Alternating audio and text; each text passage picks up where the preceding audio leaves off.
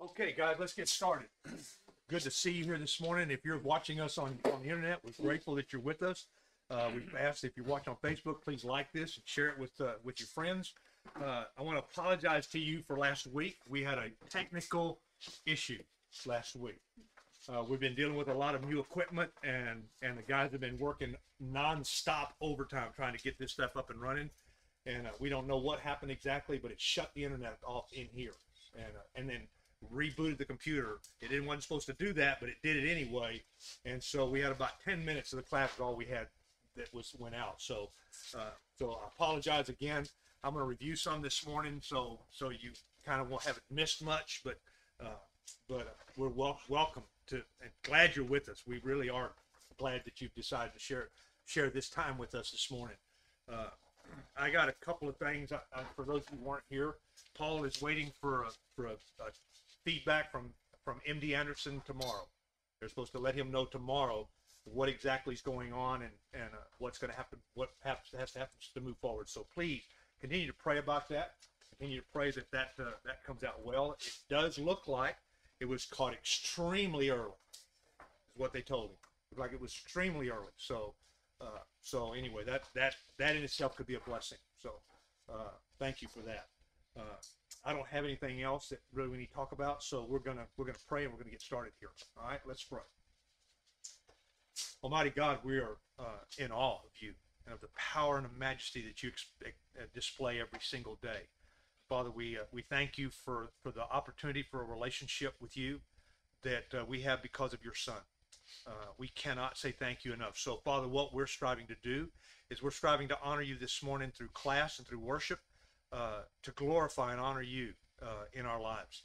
Father, we are doing together as a group this morning. We ask your blessings upon us as we do that. For those that are watching online this morning in class and, and worship that will watch the live stream, I pray for each one of them. I pray for their families and I pray for the situations they find themselves in. Father, I know that there are people out there that are struggling in their lives. They're struggling to understand. I pray that uh, that what is said this morning in here and, and in our worship will be uh, uh, will be uh, will touch them in a very special way. Father, you know who they are. So I ask, Father, that you touch their hearts, and you touch their minds, and that you be with us, that we might say the things that need to be said, that we might lead the songs that need to be that need to be led, that would that would uh, inspire them to a to a living closer to you, inspire them to coming into contact with you. Father, just thank you for that. Bless us again this, this morning as we study and we pray uh, that you be with each one of our families that are that are struggling. You know that there are things in our lives that that we're dealing with in every family, uh, and I pray for each one of those fam- our families that uh, that you help us as as uh, as they raise children and as we get through life and as we get through jobs and health and all of those things. Father, I pray that your your hand would be on each one of us, that we might be the people that we're supposed to be. Thank you, Father, and thank you for your Son. It's in His name that we pray. Amen. We're going to be in Second John this morning. If you want to turn over there. Last week we looked at at uh, what it meant to be to be a someone who walks in truth and walks in love. Now, because on the internet we it went down last week, I'm going to review that some. Uh, you know, it is uh, if if we're gonna uh, if we're gonna walk in truth, okay, if we're gonna walk in truth, then you have to know what the truth is. You have to make a decision at some point that I am going to start looking at truth and looking at what God says. It doesn't make any difference what people say. Doesn't make any difference what I say. The only thing that matters is what does God say and what am I going to do with that, what he says. You know, Jesus is very specific. He said the things that I spoke, the things that I that I spoke that are going to judge you in the last day are the things that the Father told me to say. Okay? So if you're looking at if you're looking at what does it mean to walk in truth, it is very obvious to me, and from the from biblically that we're that we are supposed to live and work and and move the way God tells us to, not the way you think He says, but the way He tells us to. Now, John, John writes to these people and says, it, it, gives me great pleasure to know that some of you are walking through. We talked about that. We talked about the uh, the uh, uh, the dynamic of that, and I told you, I told this group uh, that uh, uh, you know, and I'm going to say it again because y'all know that we've been studying with Sarah Taylor and, and Jared Taylor. Y'all know that. And y'all know that Sarah Taylor was baptized a couple of weeks ago. And we talked about that last week.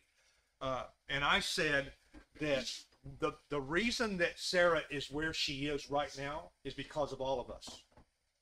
And I said because when Scott lead the song led a song before, she may not and I and I talked to her Wednesday about this. So what I said last Sunday, I talked I clarified it with her on Wednesday. And I said there were songs that you heard that you just heard them.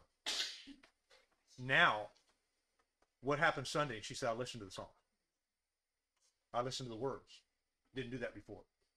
So, and I told you that uh, that some of the things that she did, and and I I asked her some specifics of what it meant for her now as of what it meant before. And understand something, God, I ain't telling you anything I haven't asked, told her. I am talking about this because these people need to know. I told my son, my, my class the other day, they need to know the Holy Spirit's still alive and well. Y'all need, y'all need to know that the Holy Spirit is alive and well and active, and He is working. You know, she had been diagnosed with PTSD many years ago. Went to all kinds of doctors. One of her, one of the side effects or one of the symptoms of PTSD is uh, is having nightmares. Night terrors, what they call it. And she told she said, as as of the Wednesday before, as of the Wednesday before, she said, she said from from Thursday morning, th- Wednesday night, she said I have not had a nightmare since. She said I've had them for ten years. She said I had a pain in my chest right here. I've had it for ten years. So I went to doctors, took all kinds of medicine, had it right there. She said Thursday morning the pain was gone, had to come back. Right, good. You know, she said I found a peace in my life that I never knew existed before. Cole and I told her, said, We told you. She said, Yeah, you did, but I had to experience it for myself. And this text says that grace, mercy, and peace come when you walk in the in the truth and walk in love. And that she is a living, breathing, walking, talking example of this very text. And I told her I have to tell him. She said, That's fine, go ahead. I said, It's gonna go on the internet. She said, I don't care. It's okay. Go ahead. Tell him. You know, when you when you look at a text and it says you gotta walk in the truth, okay, that can mean a whole lot of things. But when you see it evidence in somebody's life and you see them, and I look around this room and I see a lot of people in this room that walk in truth. You walk according to what God says to do. I understand that. But when you see it so dramatically happen in someone's life, I understand where John's coming from. You know, if something happened to Sarah now, it would pain me deeply because of, we've spent so much time working with her and and agonizing over her, and it's been a, it's been a real joy to be a part of this and to experience that and to know that the peace she has. And so now, when Scott leads a song or whoever's leading this morning, or when you I told said when you do a communion thought, you know, they see it different, they hear it different than they ever did before. That's why it's so we have to be so careful what you say and what you do and how you live your life because they're watching you. It's you know when when she knows that Paul's been diagnosed with a melanoma. You know, it may not have mattered when Kathy was diagnosed, but it does when he's diagnosed because she thinks different now. There's a different mindset now because she's walking in truth now for the first time in her whole life. First time. And so now she's looking, now she's concerned. You know, what what's going on here? Because she understands the dynamic between God and people now that she didn't know before. She thought she was just on a she was just on this track, just going. It didn't make any difference. It didn't make any difference what she did or didn't do. You know, she did. She believed that people like that believe that they they they deserve everything they're getting, all the garbage they believe they they deserve it. What they believe. And so when you when you're walking around in our in our sheltered lives, we're going, I don't understand. I don't comp- I don't comprehend this. Understand? There are some broken folks out there. There's some broken folks watching this morning. I don't know who they are. God knows who they are. They're watching, and they're going. I know exactly what he's talking about. And and John says here, he said, "You want grace, peace, and mercy." That's what he said in verse three: "Grace, mercy, and peace from God the Father and from Jesus Christ." The Father said, "Will will teach will will be with us in truth and in love." That's where they come from. Truth and love brings grace, mercy, and peace in our life. And so he says, walk in truth. That means find out what God says to do and do that, what he says to do. Come on, guys, there's plenty of room up here. I'll put you right up here in front. They'll be able to see you on TV and everything.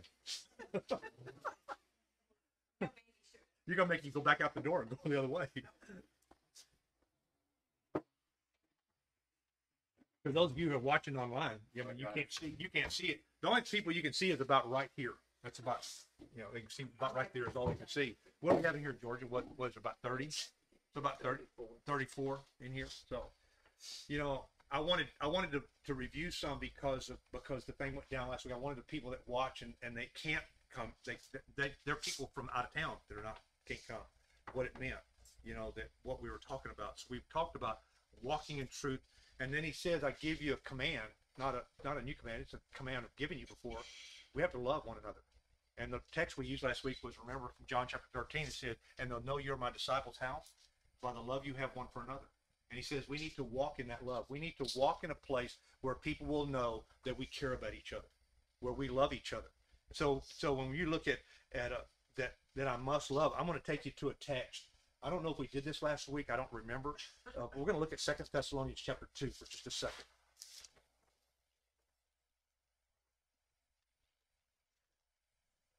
Sometimes I do I do these these these classes and I got notes and I really don't follow them. So sometimes something will come up and, and I don't remember if I did it or not. So we're going to look at this text because this is about love.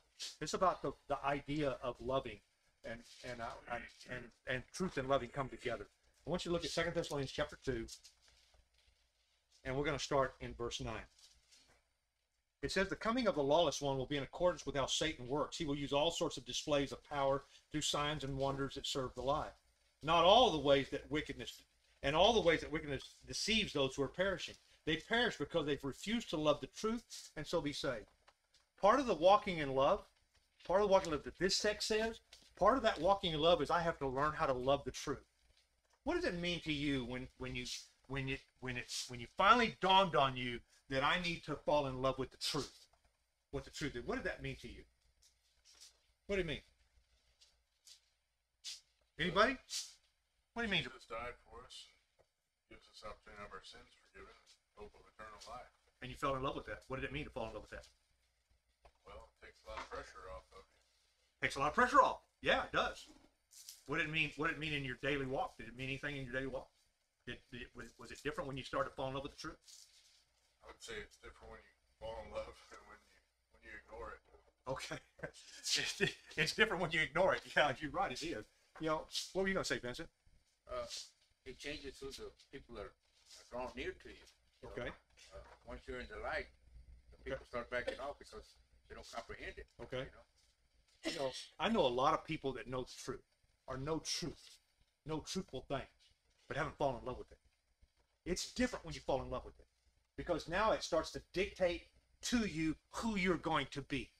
It makes you say, I can no longer do this, this, and this, and I have to apply this, this, and this. Because I know that these things I don't like and these things I do like. So when it comes to the truth, what the truth is, what does it mean? What is, and we're going to look at that in a minute here in Second John. What what does it mean that I'm going to walk in the truth? I'm going to walk according to what Jesus said to do. Now, is it going to be easy? No, absolutely not. No, it's not easy. Not easy. Not in any one of our lives has it been easy to walk in the truth. For some, it's been different than others. For some, it's been, you know, God has asked me to do things that I wasn't comfortable with. God has taken me away from people that I was comfortable with. God has put me in position with people that I'm not really comfortable with because I don't have anything in common with. So he's, so there's been a lot of things that the truth has made happen that that weren't comfortable.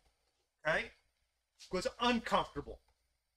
And so when I'm looking at what does it mean to fall in love with, I have to fall in love with the idea that things are different now.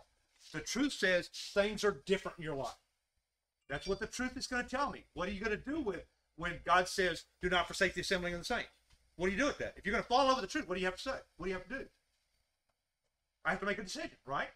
When you find truth, when you're studying God's word and you find truth, you have a couple of options, right? You can ignore it or you can be obedient to it. What happens when you ignore it? You keep going the same way you've always been going, and the same stuff keeps happening in your life. What happens when you say, "I'm not going to ignore this anymore"? I'm, I'm looking at it now, and I'm and I've fallen in love with the truth, and so I'm going to I'm going to start to act like it. Or I fell in love with God. You remember what it was like to fall in love with God? To fall in love with Him, not fall in love with a mate, fall in love with God. And you may say, "Well, I don't know what that means." What does it mean to fall in love with God? Uh, I give, what did it mean for you to fall in love with Sarah? What did it mean? Was it different when you knew you fell in love with her? Yeah. It was different. Did the did lifestyle change? Not at first. But but it but it but of course you know but you know when you come to God when you come to the cross and you come to God and you start falling in love with it it doesn't nothing it doesn't change at first does it? It doesn't. It takes a while, doesn't it? To fall in love with somebody. You know, love is not an emotion that happens like this. It takes a while. You start to you that start that process where you fall in love with. When you realize that you have fallen in love with her, and you realize that she was more important than anything else, things change, didn't You it? start to act like for the benefit of that relationship. Right. Absolutely. Start you start to act in, in with the benefit of that relationship, right? So falling in love with God is no different. When you realize I've fallen in love with God, what are you going to do? I'm going to start acting what's in the benefit of that relationship, right? I'm not going to ask you to raise your hand and think you're doing a great job at this. All right, I'm not. You know, because I know in most of our lives we've probably got a long ways to go. But in our relationships and physical relationships, we got a long ways to go too, don't we? You know, there are ups and downs. I told Jared, I said, this is going to be like this. I told Sarah, it's going to be like this. It's going to be up and down. Don't be discouraged when it's on the downhill slope. It's going to get back up again. It will. That's just the way it works. If I'm going to fall in love with the truth, I'm going to fall in love with, I'm going to walk in love. That's going to be, I'm going to walk like it tells me to walk. I'm going to make that decision. I'm going to walk like it tells me to walk. You know, Sarah has specific ideas about what she expects from a husband, right? She had those. You know, so now if I fall in love with her, you know, we've got to come to a place where we start to we start to make this mold together, right? Where some things I'm going to have to change, some things she's going to have to change. We're going to have to kind of we're going to have to get on the same page, right? When it doesn't work, when it doesn't work, you know what happens? There's no communication and nobody talking and nobody nobody's trying to change. You know, and that works in all of our lives. Every one of us, every relationship in here, it's what that.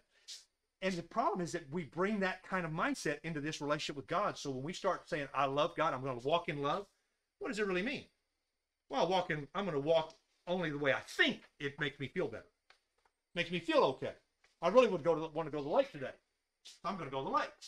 Or I really want to go. I really want to go golfing today. So I'm going golfing. Doesn't make any difference that it's Sunday morning because it's what I want to do. I want to go hunting. So what I'm to do? I'm going hunting. I'm going hunting. You know why? Because it's what I want to do. It's what makes me happy. God wants me to be happy, doesn't he? A loving God wants me to be happy, doesn't he? Doesn't he want me to be happy? He says he wants to give me an abundant life, right? Isn't that part of happiness? I'm, I'm going to be happy, right?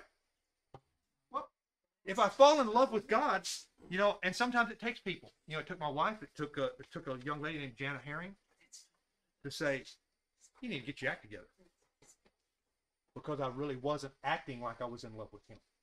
So when you look at this and say, "I'm I'm going to fall in love with him," I'm, and that means I'm going to fall in love with each, with other people, I'm going to walk like that, and I'm going to and I'm going to walk like I do, like I believe it, and I'm going to walk like I'm acting like it.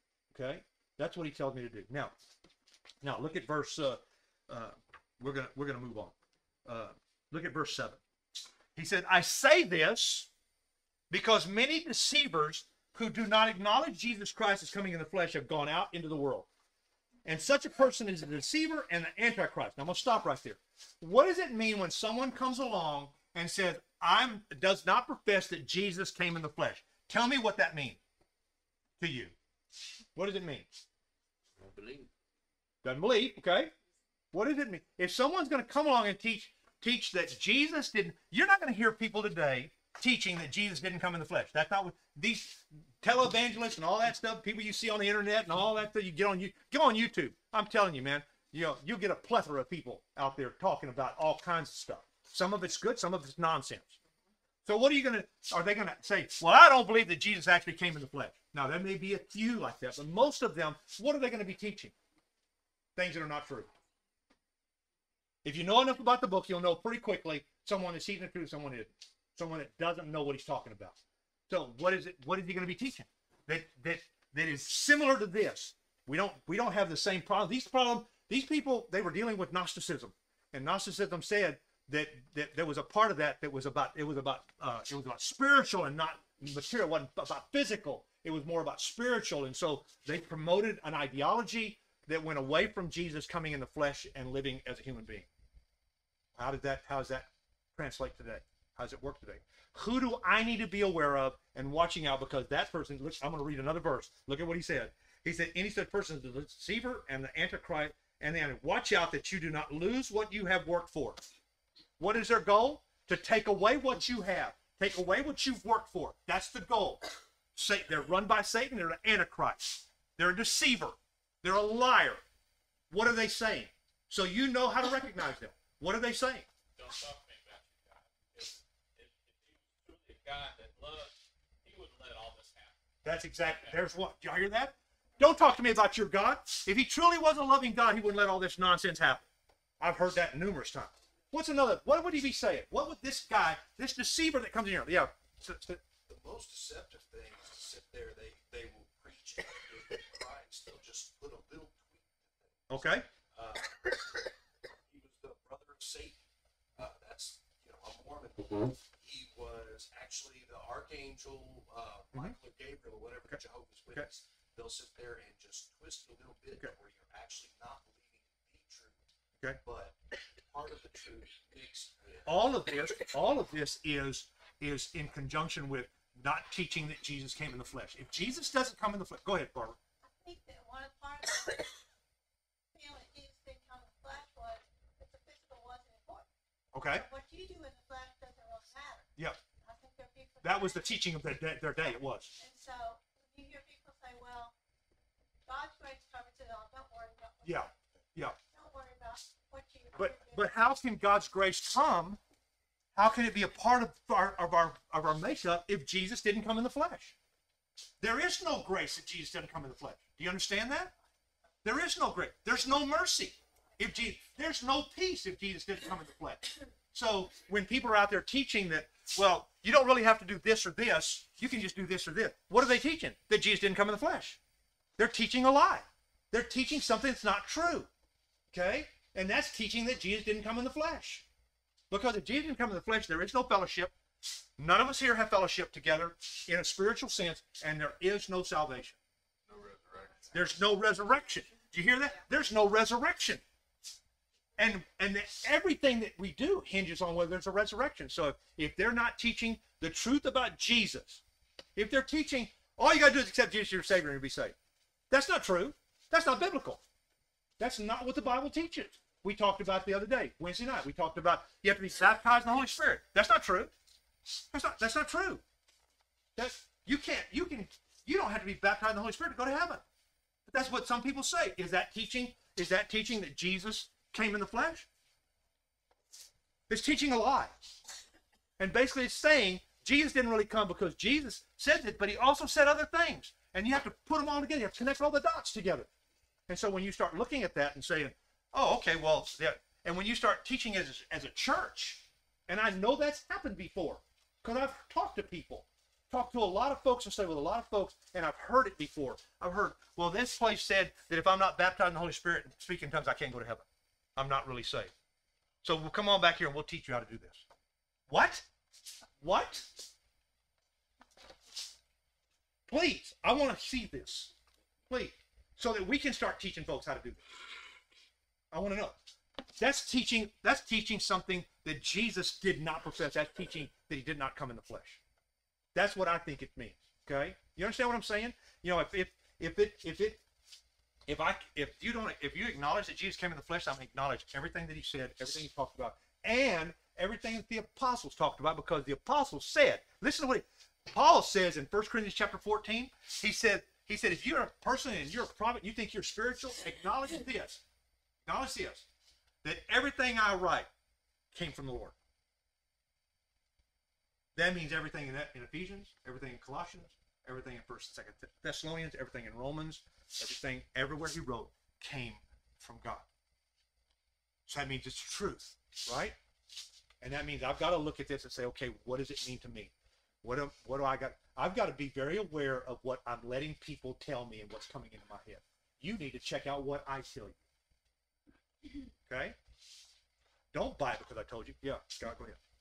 I mean, majority of the New Testament to me is dealing with the same problem over and over. Yes. You look in Romans, you've got example of, of people celebrating different holidays. Yeah. Romans 14, and Mhm. some some others not. But Romans eight, you've got a specific discussion on the spirit, and I think it, it lends itself to truth and love. It's, Absolutely. you got to walk in the spirit, walk in truth, walk in love. But it's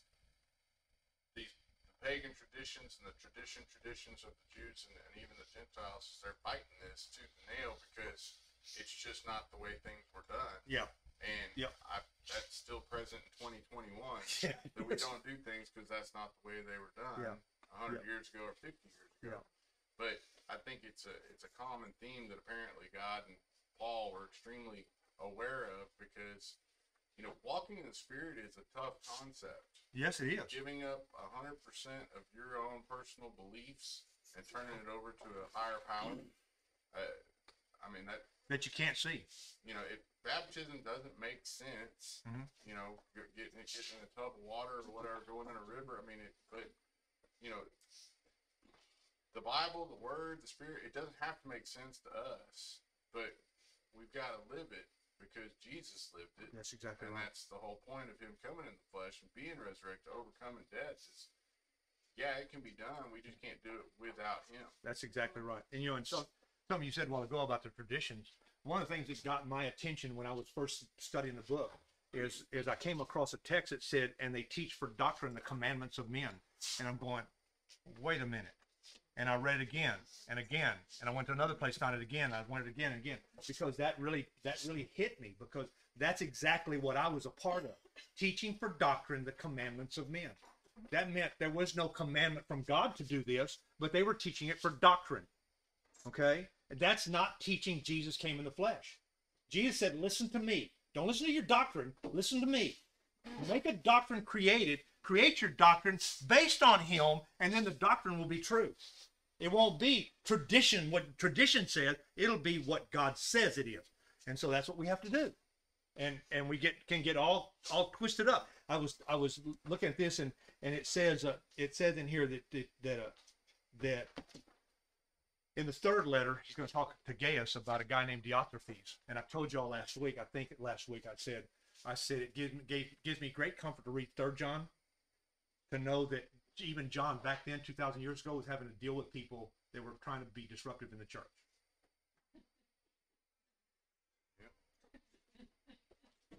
Means that we are not alone, right? And when we get one of those phone calls and we're having to deal with the with the negativity that happens sometimes, that John dealt with it, Paul dealt with it, and here we are, two thousand years later, still dealing with it There's nothing new nothing new. It's all the same. People struggling to find out what truth is, struggling to find out how to love, and and so and our job is is try to train them and teach them. Some of them you can, and some of them you can't. Paul, I mean John's going to tell them, don't worry about this guy. He said, I'm coming, and I'll deal with him face to face. You know. So here he's talking, telling, man, it gives me great pleasure to know that that you're walking in truth and you're walking in love. But be careful of those folks that are that are out there teaching this lie that Jesus didn't come in the flesh. Be careful, folks, of those people that are teaching those things today that are not true. Be aware. That's why you've got to be a student of the book. That's why you've got to learn how to connect the dots. It's not that difficult, guys. You want to help with it? Come on Friday night. I'm going to come on Friday night. We will study the book together. That's what we do. You want it? Don't tell me, oh, well, I don't have time. Man, well, you think I've got loads of time? Come. I dare you. I dare you to come and put what you believe to the test. Let's try it and see. And see if you if you if you really know as much as you think you know. And we'll learn together. You come. Or or you can come on Wednesday night. You know, we got a class down there where Cole's taxing you guys, I think. That's what I heard. He's making you look at it from a you know, or you can come in my class. Traditional, we're gonna start studying the book of John. I mean, uh, we're gonna start we started studying the book of Acts. I get my classes mixed up.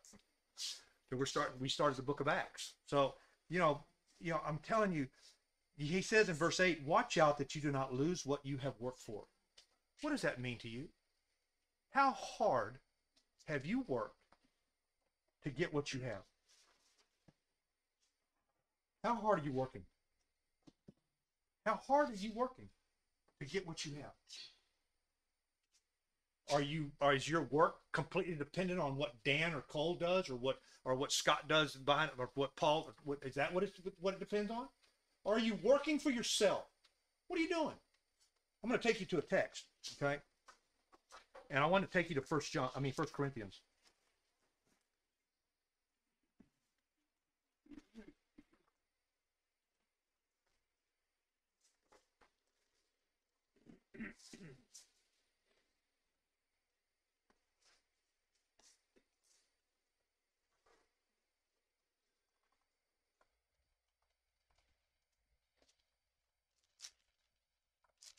Chapter 9, and we're going to start in verse uh, mm, 24.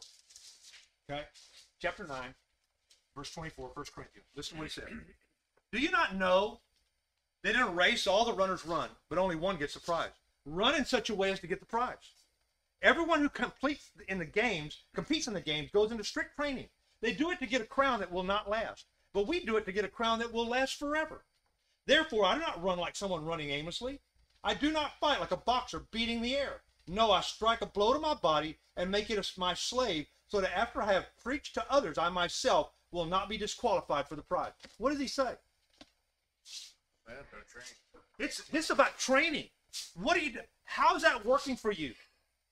How is it working for you that you are that you have that you are working out your own salvation? What Paul said. I'm working out my own salvation. How with fear and trembling. I do not want to be found lacking. I do not want to be found amiss. So I'm going to work overtime. I'm going to do everything I can do to make sure I can connect the dots in this thing. And if I don't know what to do, I'm going to go find somebody that does.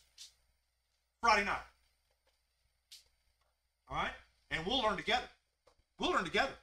Okay? You know, I'm, he said, be careful. These people are coming for one reason and one reason only, and that's to take you what you've got away from you. Okay? That's what they're coming for. That's what Satan wants. Satan's not out there in the world dealing. He's already got them. He's coming in here to take what you've got away from you. Be careful. Don't listen to them. And he says here, he says, and he said, uh, that that you oh, oh watch out that you do not lose what you have worked for, but that you may be rewarded fully. That you get the reward that you're looking for. What's the reward you're looking for? I want to go home you know, I, I, I love, I love, I love you guys, but sometimes, man, we say some things, you know, uh, and, and I, I've, had, I've sat in a room with someone that said, man, they finally went home to be with so and so. Man, I'm not going home to be with anybody. I'm going home to be with Christ. If my wife dies, I love my wife to death. I do, man. And we spend a lot of years together. We're going to be married in, in a, another another year or so. We're going to be married 50 years. 50 years. We're going to be married. You know, but I'm not. When I die, if she dies first, I'm not going home, going there to see her. We'll be there together, but it won't be the same relationship. I'm going there to see Christ. That's what I'm going for. That's the reward I'm looking for is to go be with Him. I want to. I want. I got a bunch of questions to ask. Got a bunch of them I want to ask. But you know, I probably won't need to ask any of them. Just being with Him will be enough. I don't think it'll matter anymore. Right now, as a human being, I got a bunch of them. Some of them are. Some of them are pretty tough. You know, pretty tough. You know, I want to know why my 40 year old son has to go through what he's got to go through with, with three little kids. You know, how come you're having to struggle with the struggles you're having? How come we had a pandemic? You know, that, that disrupted the church, and many churches closed their doors because they could not stay afloat because people got comfortable watching on the internet, and more comfortable watching on the internet coming to be together. You know, but you know what? It ain't gonna matter. It ain't gonna matter. I know that I'm to be rewarded fully as long as I stay focused on who? I got to stay focused on Him and what the truth about Him is. And the only place I'm to get that is from here. So what do I need to do? Study the Word. You know, how many of you study this every day? Every day. I'm talking about study it. Not just read it, study it every day. That yet you that you going now. I'm I'm hey I'm tickled to death that y'all are reading it every day. But I mean to go into strict training I want to find out what the truth is. I want to learn how to connect this part over here, but this part over here. How do I do that? There's ways to find out how to do that, and I'm going to do that. I'm going to I'm going to read over here. I'm going to read over here, and I'm going to start taking notes of things that I find. So when I find something over here, I'm going to do it myself. I'm going to find out. That's what I'm. That's what he means about strict training. You know, Paul. I mean, he's played football for Victoria High School, and you start as a freshman. And the only stipulation your mother and I had was if you start a year, you finish a year. That was the only stipulation we had. He played for four years. Okay? He, there was times during the summer when I took him every single day to the gym and he worked out one day, ran the next. Every day, we I took him, dropped him off. I went, did my errands, came back, picked him up, and he he'd come back stink. Oh my gosh, it was awful. It was awful. Why do you do that? Why do that? Yeah. He was he was uh, he was committed. Committed. Yeah, how many? How, you remember how many started in your freshman class? 110, 105, something like that. That's how many kids started in the freshman class playing football. You know how many they ended up with seniors? Now some of them moved off, some of them moved. Out, 22, 23, something like that. How many they they were ended with in four years? 22 or 23. That's all that's left. You know. But it but that experience made him. It it completely changed the way he he approached life from the things he learned there. How can you give any less to this than he gave to that? How can you get how can you stand for God? How can we stand for God and say, "Oh God, I did everything I could do," when I wasn't willing to do even a partial of what he did or what many of you have done, you know, and, and you know, and I mean, you play golf. I mean, you any good at it? Are you any good at it? Not anymore. What you used to be? Why were you good at it before? Why were you good at it? I played a lot. Because you played a lot, right? I used to bowl a lot. I was really good. I could hit what I was aiming at. Mm-hmm. I could. I could hit a quarter at 25 steps pretty much 90% of the time with that bow. You know why? Because I practiced every single. Ask them. Ask them. What they what they have to do? I stood on. a Tri- I got on a tripod, and they had to run get fetch arrows. They fetched arrows for me, so I didn't have to get up and down, up and down, up and down. So I made them go fetch arrows, and I'd shoot 10, 15 arrows, and I got to the point where I couldn't shoot. I had to shoot different spots because I was I was breaking all my arrows. I was hitting arrows and, and, and knocking the fletches off and stuff. But I, because I practiced, I'd shoot five, six thousand arrows in the summertime, and they went and got them all. And I stood up on, stayed up on the tripod and shot. put an apple on Paul's No, no, they. I would have done it. They wouldn't let me. do- I would. But you know the point is, you know, but I but I went out to shoot one time, two times in a season, and I practiced five, six, seven thousand arrows. Did, did that not true? That's Shot a bunch of arrows. I shot a bunch of arrows. You know, practice, practice, practice, beat it. And I looked at this and I said, how come I can't give this the same effort? Why should should I shouldn't I give this the same effort? Shouldn't we give this the same effort? Absolutely. God forgive us for not doing that. Because one day, some, and I know some have lost what they worked for because they weren't willing to do that. And they've lost it and they're gone. And they're gone. Right, Dan? We know them. We know who they are. We agonize over them. But There's nothing you can do. Can't bring them back. They're not coming back. They've lost it. They're gone because they decided that this was too hard and too too invasive, and I'm not going to do this. Okay. Thanks, guys. We're uh, we're going to end right there. I'm to finish this up next week, and we'll start over. I want to I want to uh, tell the folks that were, they're watching. Man, sometimes I get wound up. Sorry about that, but you know, I prayed when we started that God please give us the words to say, and maybe one of those words was something you need to hear. So, guys, thank you. Uh, we'll see you next week, and let's go over over next door and worship. All right. Thank you.